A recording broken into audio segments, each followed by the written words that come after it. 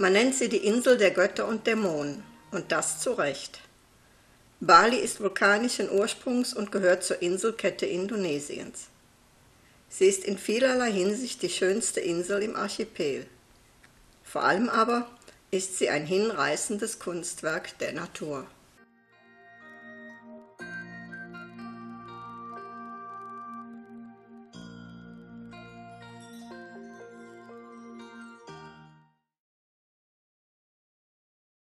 Nusa Dua ist eine heiße, trockene Savannenlandschaft mit wenigen kleinen Dörfern.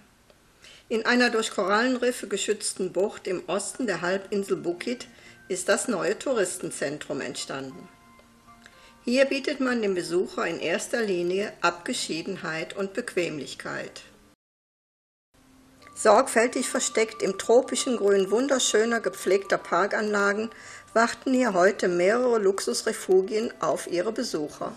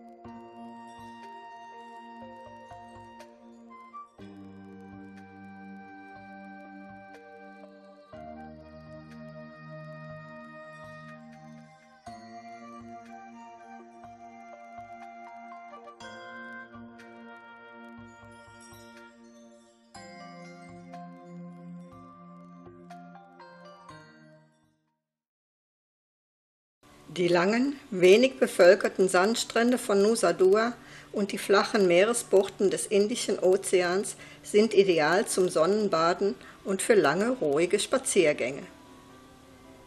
Da man bei Ebbe weit in die Bucht hineingehen muss, sollte man beim Schwimmen die Anziehungskraft des Meeres nicht unterschätzen. Bei Flut ist aber das Baden in Strandnähe sehr gut möglich und ungefährlich.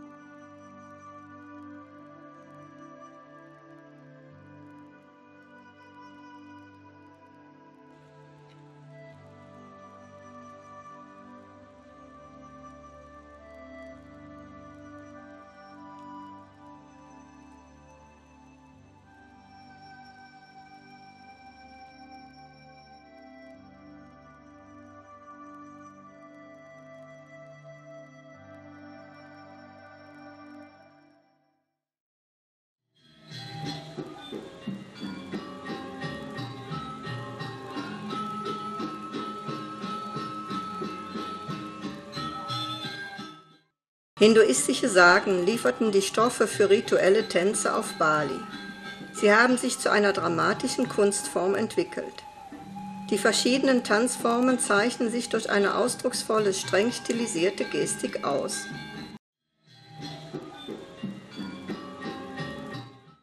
In ganz Indonesien findet man derartig auffallende Augengestik nur auf Bali.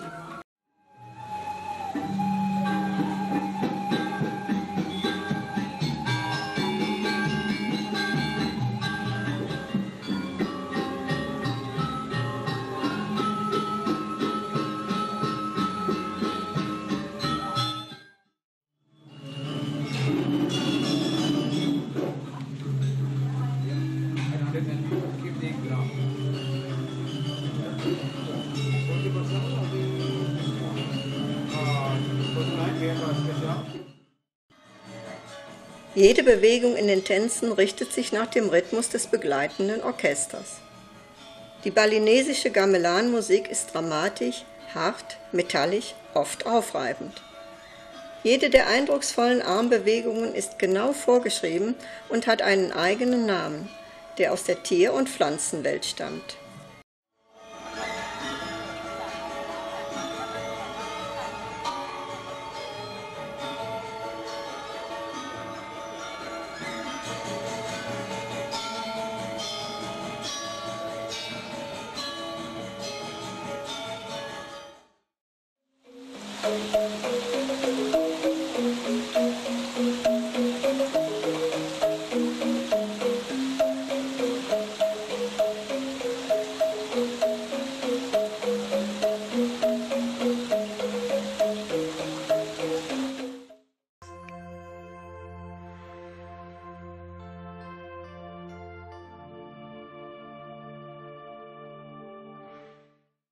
Sanur ist eines der ältesten Touristenzentren Balis, sieben Kilometer von Denpasar, der Hauptstadt, entfernt und an einer schönen Bucht gelegen.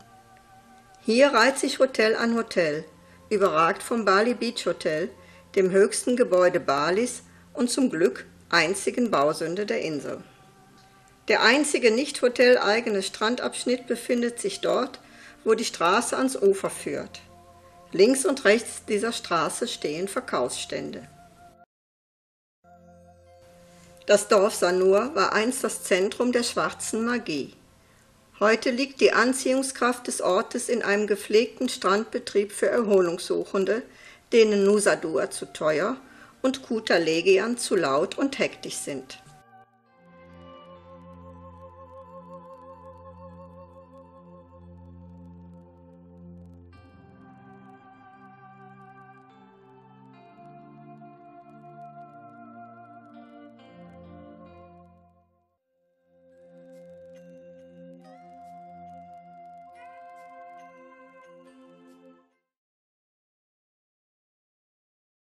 Goa Gachar, die Elefantenhöhle, ist eine der ältesten Monumente Balis. Die Höhle befindet sich in einem von Menschenhand ausgehöhlten Felsblock. Über dem Zugang prangt eine riesige Dämonenfratze. In ihrem Inneren befindet sich eine kleine Statue Ganeshas, dem elefantenköpfigen Sohn Shivas.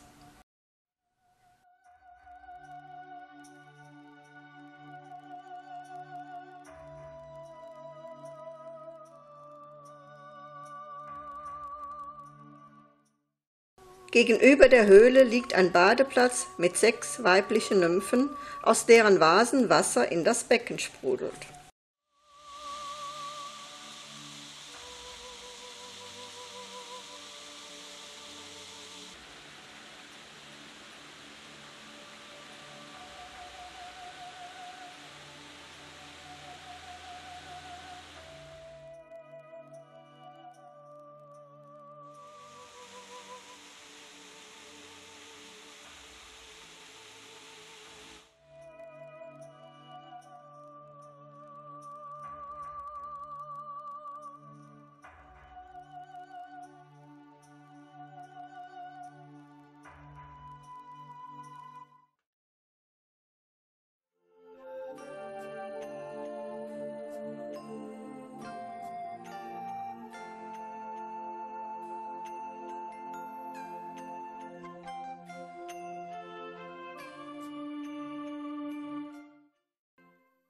In Klungkung, heute auch Semarapura genannt, liegt in der Ortsmitte der Tamangeli, der Park mit Inselchen. In ihm befinden sich die Kertagosa, die berühmte Gerichtshalle, und der in einem künstlich angelegten Lotusteil schwimmende königliche Pavillon, der Ballet Kembang. Beide Gebäude sind mit Deckenmalereien im zweidimensionalen Wayang-Stil ausgeschmückt. Besonders beeindruckend sind die Fresken im Justizpavillon, die alle Freuden des Paradieses und alle Schrecken der Hölle schildern.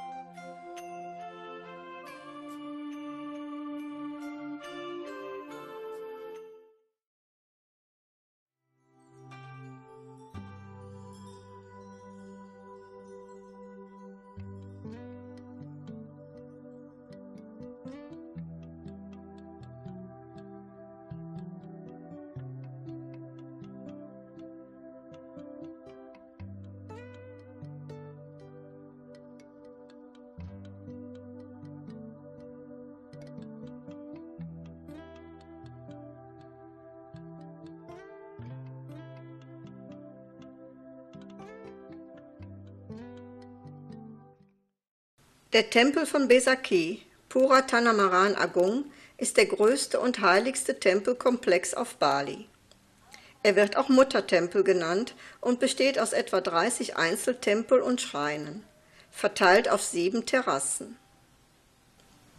Im Gegensatz zu anderen balinesischen Tempelanlagen präsentiert sich dieser Tempelkomplex in einer bemerkenswert schlichten und nüchternen Architektur.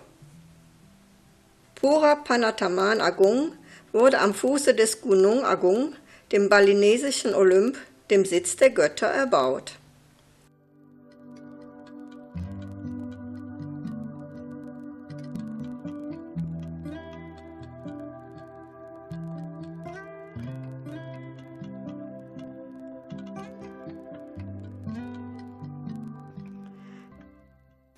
Einer der vielen Beinamen, die Bali im Laufe der Jahre bekommen hat, lautet Insel der tausend Tempel. Das ist nicht korrekt, denn es sind über 20.000. Während die Tempel Orte der Ruhe und Zurückgezogenheit sind, herrscht vor ihren Toren geschäftiges Treiben.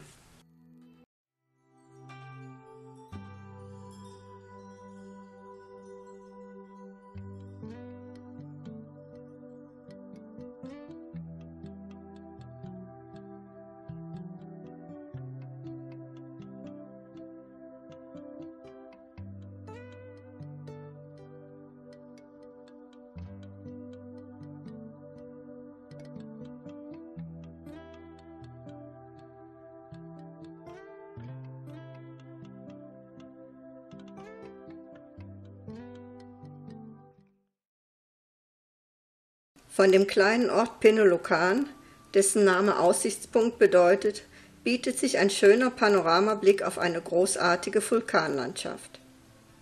Im Zentrum liegen der noch aktive Batur-Vulkan mit seinen zerklüfteten Lavafeldern und der halbmondförmige Batursee. Von der unmittelbar am Kraterrand verlaufenden Serpentinenstraße nach Kintamani bieten sich immer wieder schöne Aussichten. Der lavabedeckte Batur selbst ist ein noch junger und tätiger Vulkan. Eines der hervorstechendsten Merkmale Balis ist das enge Nebeneinander von Verschiedenartigem. Hier kann man am Vormittag an einem der Sandstrände baden und am Nachmittag bereits am Kraterrand eines noch tätigen Vulkans stehen.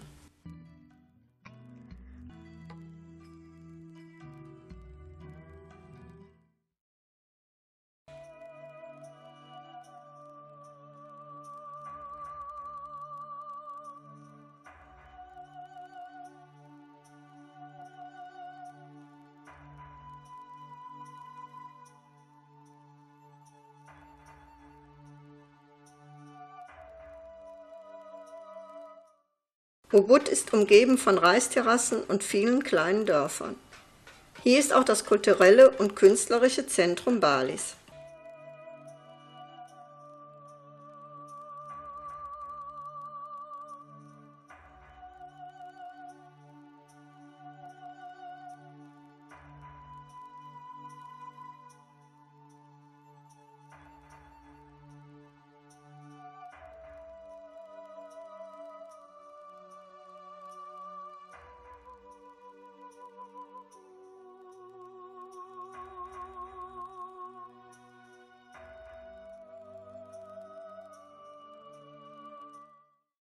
In Ubud wohnen und arbeiten Hunderte von Malern und Tänzern, Schnitzern, Musikern und Steinmetzen.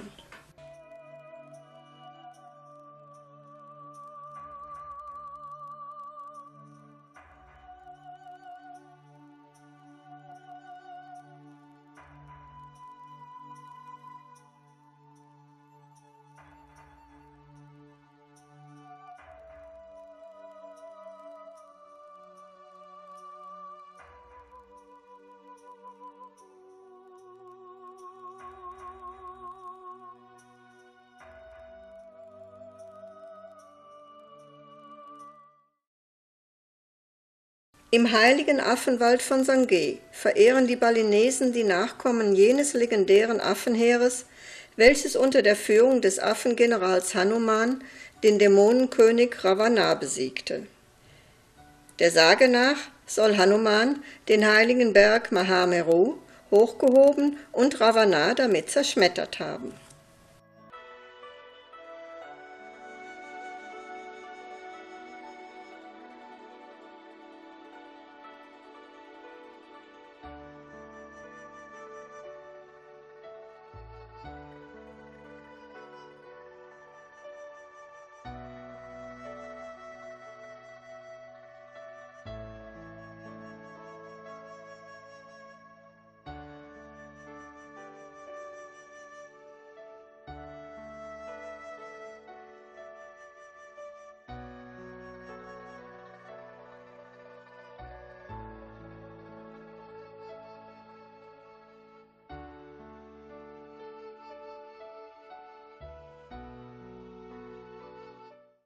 In den hohen Muskatbäumen, die eigentlich nicht auf Bali heimisch sind und deren Herkunft sich niemand erklären kann, hängen ganze Scharen von fliegenden Hunden.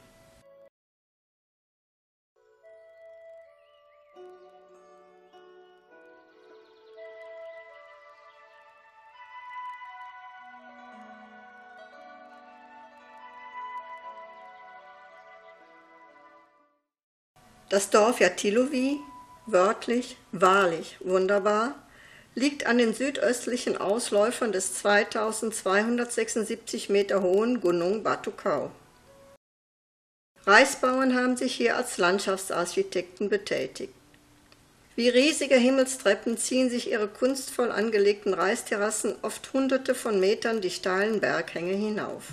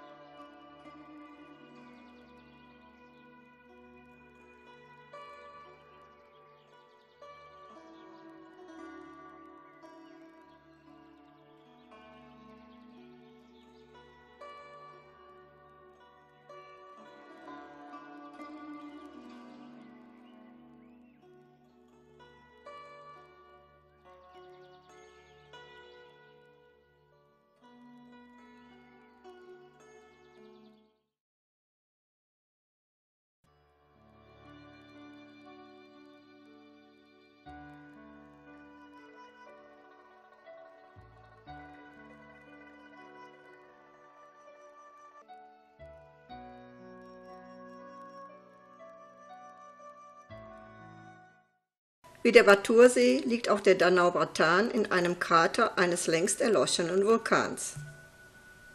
Dank seiner Höhenlage besitzt er ein angenehm kühles Klima. Zeitweilig auftretende Nebelschwaden, Regenwolken oder gar Regengüsse beeinträchtigen nicht den Gesamteindruck.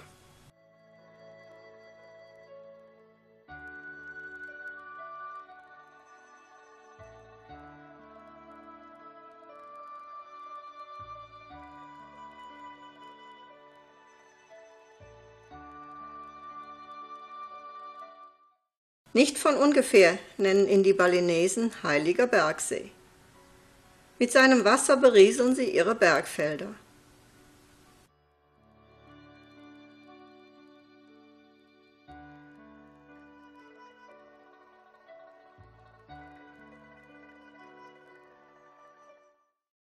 Außerordentlich malerisch liegt der kleine Tempel Ulun Danu am Westufer des Pratansees. Hier wird Devi Danu verehrt, die Göttin der Seen und Flüsse.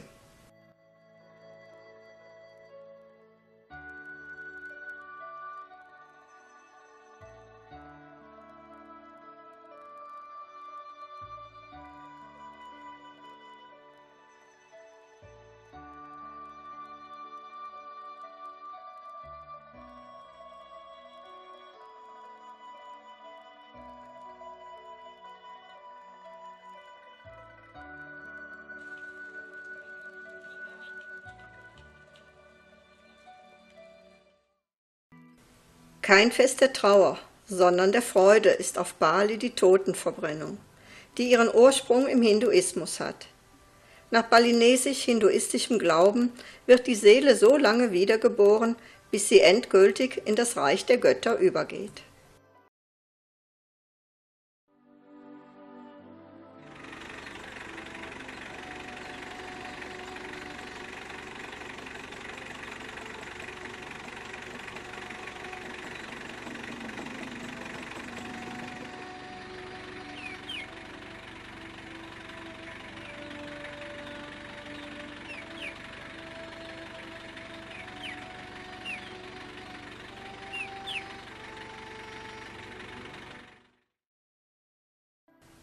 Eingerahmt von regentriefenden Urwäldern, in denen sich oft Nebelfetzen verfangen, strahlt das Bergheiligtum Pura Luhur Batukau eine mystische, weltentrückte Stimmung aus.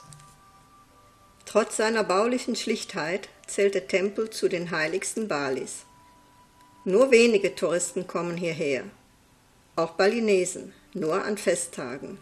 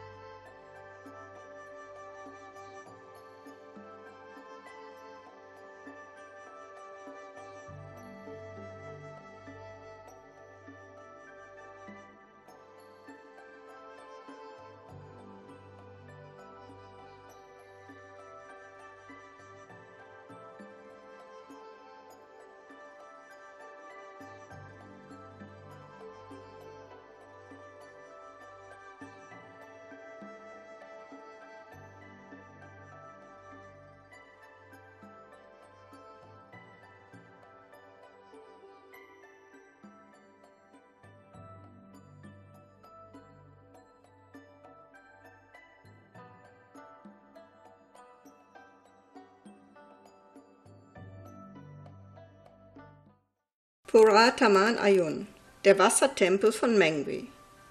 Dieser gewaltige Tempelkomplex liegt auf einer Anhöhe, die von einem breiten Wassergraben umgeben ist.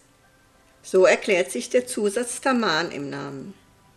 Taman bedeutet Garten mit Teich. 27 Schreine, Pavillons und Meros befinden sich innerhalb der Tempelmauern. Fünf Meros mit elf Dächern und vier niedrigere geben der Anlage auch eine gewisse Ausdehnung nach oben.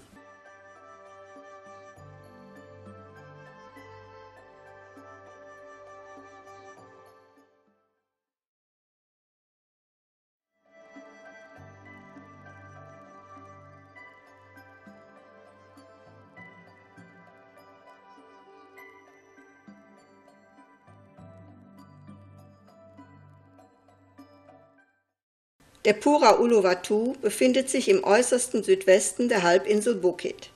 Direkt am Rand der über 100 Meter hohen Klippe erbaut, soll er Bali vor den bösen Dämonen, die im Meer hausen, bewahren. Er ist Devi Danu, der Schutzgöttin, geweiht.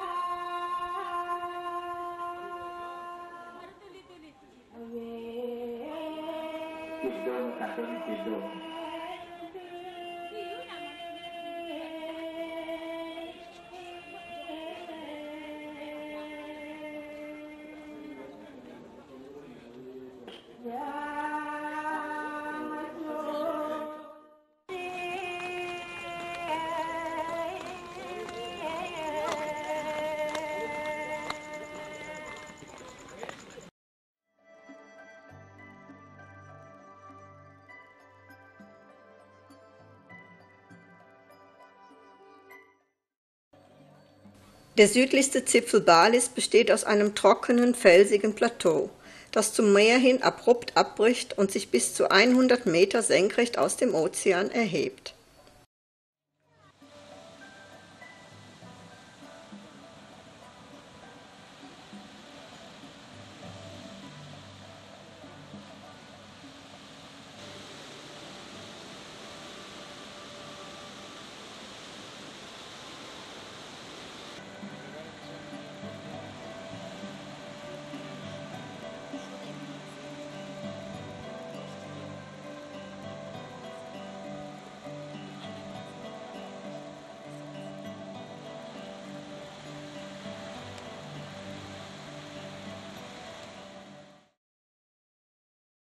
Der Ketchak-Chak oder Affentanz ist wohl einer der mitreißendsten und rhythmischsten überhaupt. Entstanden ist diese Art Tanz aus dem Männerchor bei verschiedenen Sanghian-Tänzen. Dort unterstützte er durch das ununterbrochene Chak, Ketchak, Ketchak die Trance der Tänzerin. Irgendwann hat sich dieser Background-Chor dann verselbstständigt und ist zu einer eigenständigen Tanzform geworden. Heute wird der reine Ketchak-Chor durch kostümierte Tänzer ergänzt, die Episoden aus der Ramayana-Legende vortragen. Von seinem hypnotischen Charakter hat er allerdings nicht viel verloren.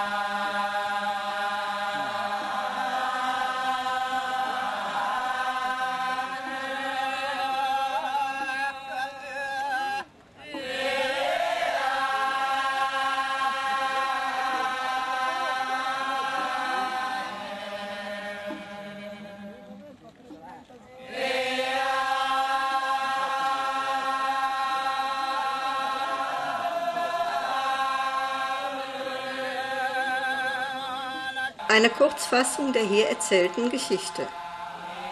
Rama wird von seinem Bruder Bharata für 14 Jahre in die Verbannung geschickt. Zusammen mit seiner Frau Chinta lebt er in den Wäldern, beschützt von den Affen. Als Ravana, der Dämonenkönig, das Versteck entdeckt, ist er von der Schönheit Chintas geblendet und beschließt, sie zu rauben.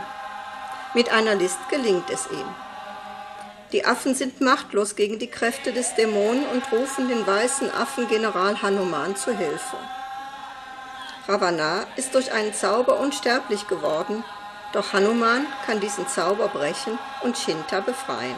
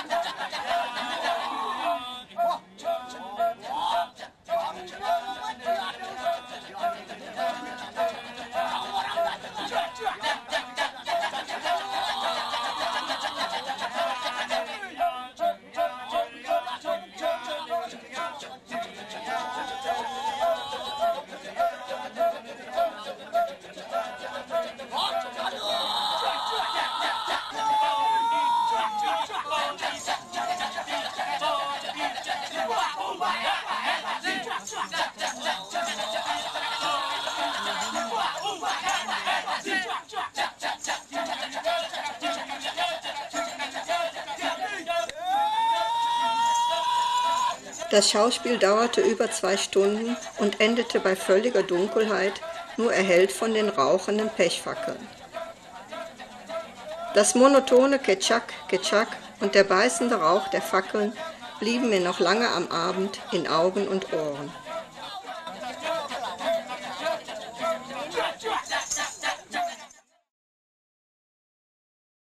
Kuta an der Südostküste Balis hat sich zu einer Art kommerzieller Stranddauerparty entwickelt.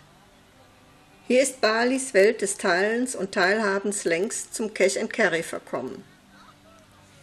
Es gibt auf Geld komm heraus Boutiquen, Musikshops und Restaurants. Gamelanorchester kämpfen hier vergeblich gegen lautsprecherverstärkten Hardrock an.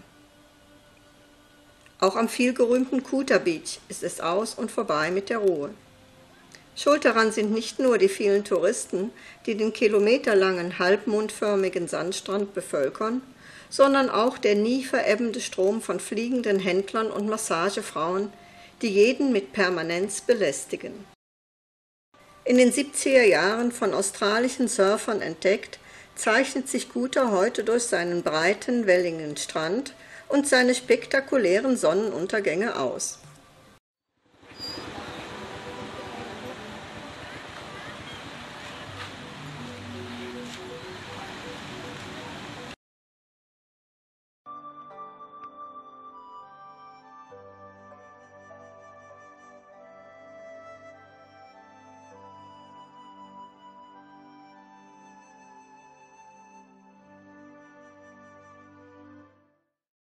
Der Meerestempel Tanalot ist einer der Nationaltempel, der von allen Balinesen verehrt wird.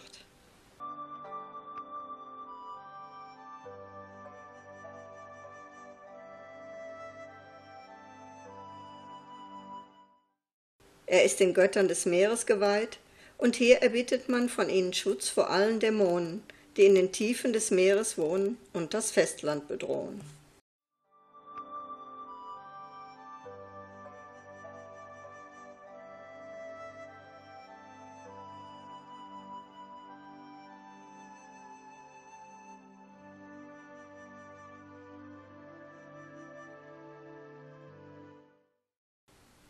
Während der Flut ist der Felsen von einer starken Brandung umgeben.